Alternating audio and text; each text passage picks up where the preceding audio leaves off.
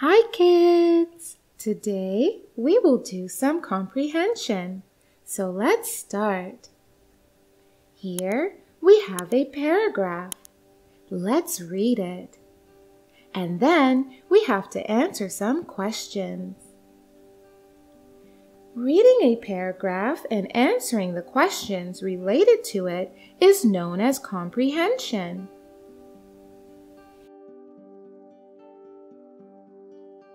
It is a sunny day today.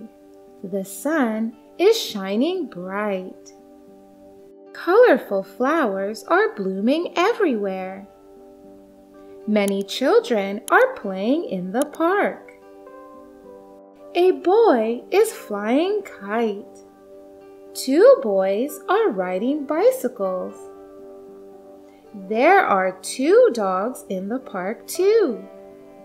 There are many apples on the trees.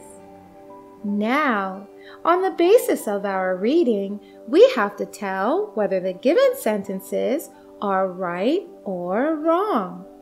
It is a rainy day today.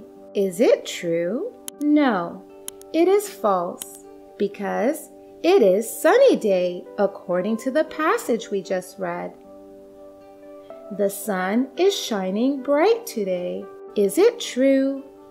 Yes, it is true. No flowers are there in the park. Is it true? It is false because colorful flowers are blooming everywhere, according to the passage we just read. Many children are playing in the park. Is it true? Yes, it is true. Two boys are flying kites. True or false? False, because only one boy is flying kite according to the passage we just read. Two boys are riding bicycles. True or false? It is true. There are four dogs in the park. Is it true?